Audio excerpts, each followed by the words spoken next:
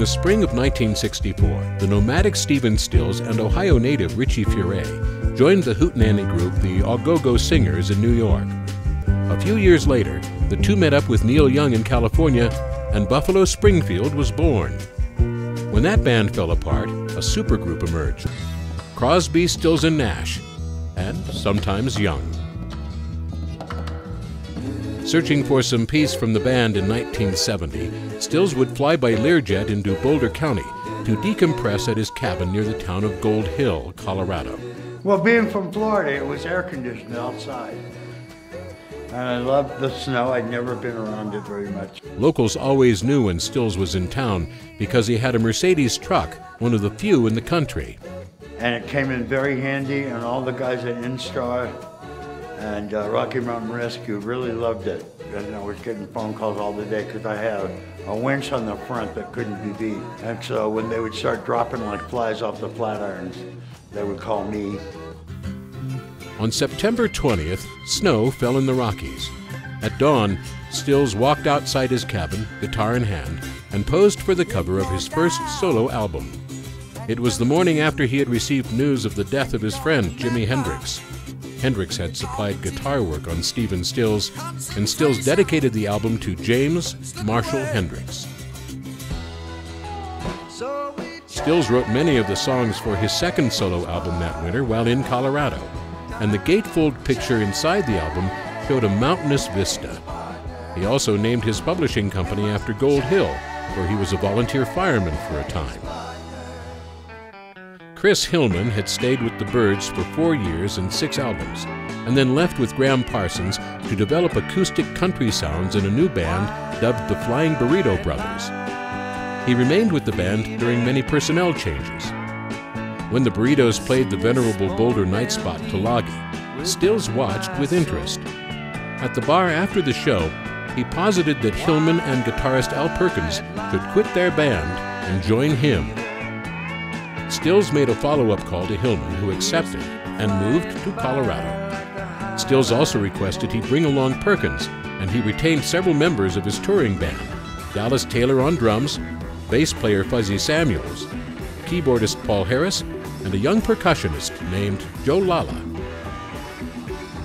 Stills had been visualizing a new group that would bring together rock, folk, Latin, country, and blues. The Stills Burritos amalgam was dubbed Manassas after the Civil War battlefield, and when it congregated in the studio, something clicked. Rehearsals flowed right into marathon recording sessions, the longest of which, according to engineer Howard Albert, lasted 106 straight hours. It was a rock band that only had steel guitar. And it was actually all the bands from Nashville now sound like Manassas did then. In Manassas, Hillman emerged as Stills' musical foil, collaborating in the writing and contributing vocals as well as instrumental versatility. The 1972 debut album Manassas, featuring the songs Colorado, It Doesn't Matter, It doesn't matter which of our Johnny's Garden, In Johnny's garden. and Rock and Roll Crazies Rock and roll crazy. Get you right down. was a commercial and critical success, peaking at number four on the charts. Look out, mama. On stage, Manassas gained everlasting fame for its prowess, with performances generally running close to three hours. Building off the Burritos format, shows began with an opening rock set, followed by Stills playing solo acoustic, Hillman and Perkins playing bluegrass, and the band then returning for country, more rock, and an acoustic finish. After touring, Hillman took several weeks away to record a reunion album with the Byrds, his pre Burritos band. Manassas then regrouped, and a second album, Down the Road, was completed at James William Guercio's Caribou Ranch Studios in Nederland, Colorado. It peaked at number 26 on the Billboard album charts in May 1973. The single, Isn't It About Time, made it to number 56 on the singles charts. We played with Stephen for two years in Manassas. It was a great band. It was, uh, I would count him as sort of a mentor. He was at the top of his game in 1972. Songwriter, singer, guitar player. I learned so much. I improved on my songwriting technique. I certainly learned a lot of guitar from him. He was a good man. He's still a good friend. Stills married French singer songwriter Veronique Sanson, who he had met while on tour with Manassas. Their son, Chris Stills, today a musician as well, was born in April 1974 in Boulder Community Hospital.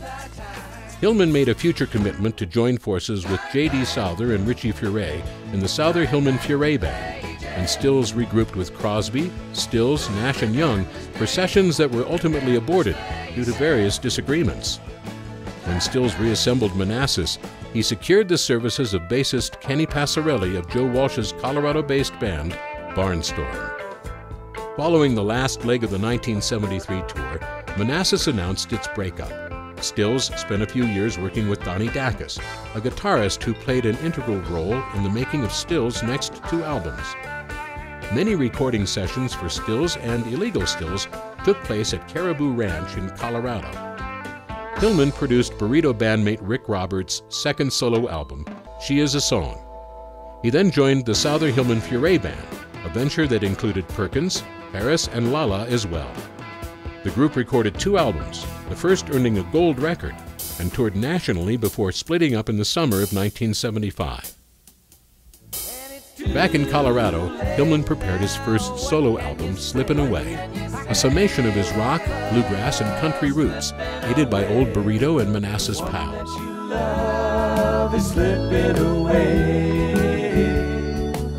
Amidst the recording of Slippin' Away, Hillman began to utilize his talents behind the board in the studio, producing the demo tapes that led to Roberts' new band, Firefall, landing a recording contract. He also produced Denver folk singer and former Dusty Drapes and the Dusters member Dan McCorison's self titled solo album.